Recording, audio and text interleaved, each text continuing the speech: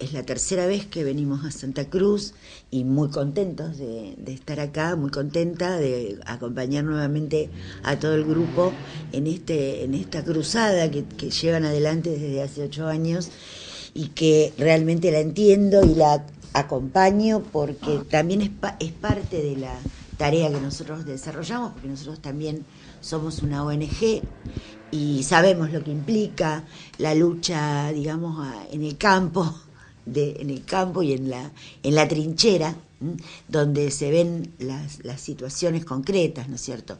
Nosotros no pertenecemos a ningún organismo del Estado, ni nunca lo tuvimos, pero sí articulamos, tratamos de articular como hace Lorena, lo más que podemos. Realmente yo creo que el problema es que los niños no, como no tienen voz y no pueden salir a hacer una sentada o a quemar gomas o a hacer o a cortar una calle, eh, realmente eh, es lo que se deja para el final. A los niños siempre se los deja para el final, igual que a las mujeres, ¿no? A las mujeres invisibilizadas dentro de lo que es la violencia de género.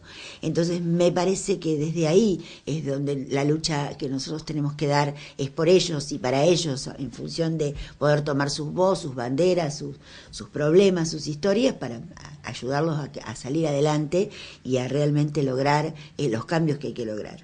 Eh, también es interesante pensar que desde la primera vez que vinimos, que venimos acá con, con Julia a, armar esta, a trabajar en estas jornadas, venimos pensando en lograr un protocolo de intervención, en poder armar un trabajo de articulación, y bueno, y sin embargo todavía no lo hemos logrado. Pero ¿por qué no lo logramos? Porque la gente que tiene que estar no está.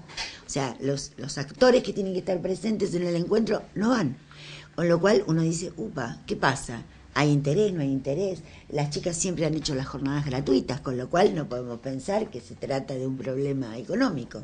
Han invitado a todo el mundo, no podemos pensar que se trata de un problema de difusión. Entonces, ¿de qué se trata? Se trata de indiferencia, se trata de que no me importa, se trata de que es lo mismo, me da igual, porque vuelvo a repetir, la voz de los chicos la levantamos aquellos que, que luchamos por ellos y por, por, los cambios que se tienen que dar. Entonces, esto es lo que genera un gran desgaste y a veces las organizaciones realmente nos cansamos de pelear. Por eso esto que le decía Julia a Lorena, seguir luchando que vale la pena.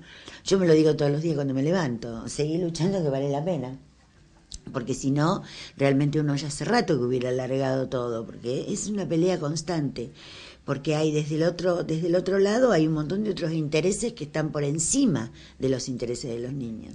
Y esto de hablar del interés superior del niño es nada más que una frase hecha una frase hecha sin contenido, lo mismo que los derechos, la Convención de los Derechos del Niño, hablar en pos de, también es una, algo vacío. Todo el mundo declama, todo el mundo se llena la boca hablando de los niños y además lo usan para hacer campaña política.